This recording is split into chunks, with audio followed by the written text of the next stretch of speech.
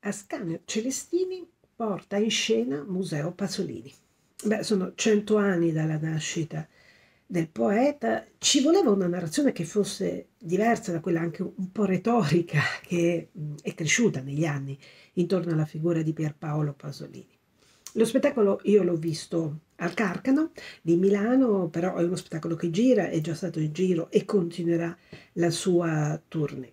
Che cosa di particolare? Allora, Ascanio Celestini in una narrazione serratissima, forse già lo conoscete, ha una prosa e un modo di parlare direi a cascata a, a valanga, costruisce un museo Pasolini, cioè mh, mm, si finge eh, praticamente una, una guida all'interno di un museo che contiene alcuni pezzi.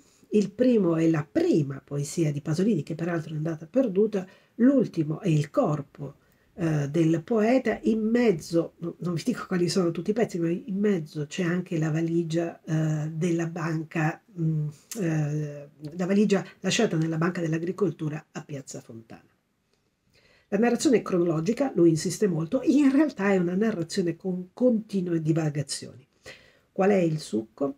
Il succo è che dietro l'uccisione di Pasolini ci sia la strategia della tensione. È una tesi molto complessa, evidentemente, che parte addirittura dalla, da, dalla guerra della resistenza, della decima massa, che ripesca un personaggio fondamentale della decima massa, che è uno, Valerio Borghese, che è stato l'uomo che ha tentato anche eh, il golpe e, eh, come dire, lega l'uccisione, evidentemente mai chiarita, di Pasolini a tutta la strategia che in Italia nel dopoguerra è servita a tenere lontani i comunisti sostanzialmente dal potere o comunque che è servita a tenere i cittadini sotto uno stato di costante minaccia e di allerta.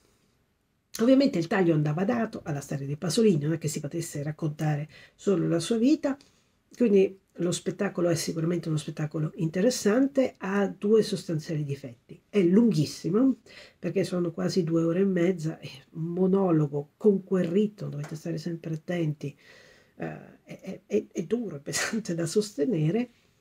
Due, le divagazioni sono veramente tante e quindi il rischio di perdersi, secondo me, è alto e questo tende anche un po' a indebolire la tesi che pure ha una sua validità.